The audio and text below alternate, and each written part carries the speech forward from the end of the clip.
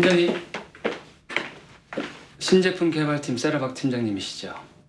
네, 제가 세라박인데요. 이번 주 내로 살고 계시는 집을 비워주셔야겠습니다. 집을 비우라니 그게 무슨 말씀이시죠? 현재 세라박 팀장님이 사용하고 계시는 회사명의 집과 차, 법인카드까지 전부 다 반납하시라는 구세경 본부장님의 지시가 있으셨습니다. 이번 주까지 총무팀으로 반납 부탁드립니다. 구세경 본부장님이요? 예,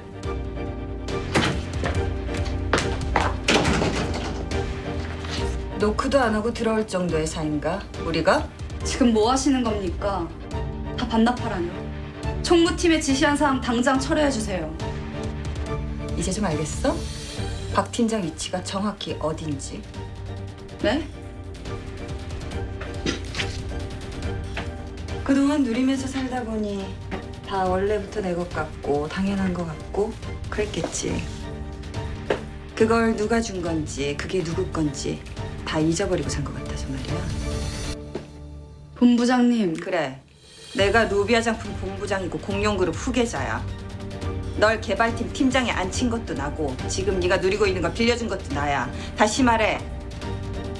집이건 차건 그 집안에 있는 걸레짝 하나도 네 건 아무것도 없어. 그러니 까불지 마.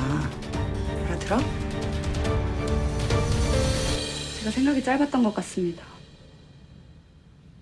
앞으로 주의하겠습니다, 본부장님. 정말 죄송합니다. 알아들었으면 그만 나가봐. 그리고 저 미쳐 날뛰는 설기찬 책임지고 처리하겠다고 큰 소리 치지 않았어? 다시는 내 눈앞에 띄게 하지 마. 마지막 경고야. 네, 알겠습니다. 양다리.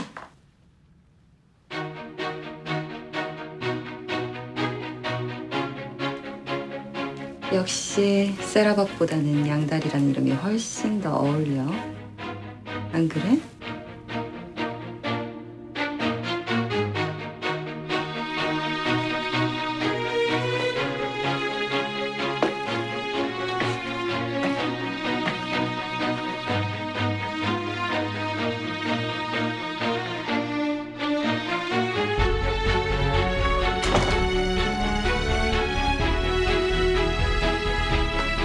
당신 말대로 집도 차도 돈도 다 내 게 아니야.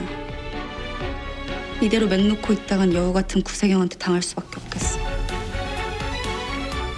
기다려 구세경. 다 내 걸로 만들어 놓을 거니까.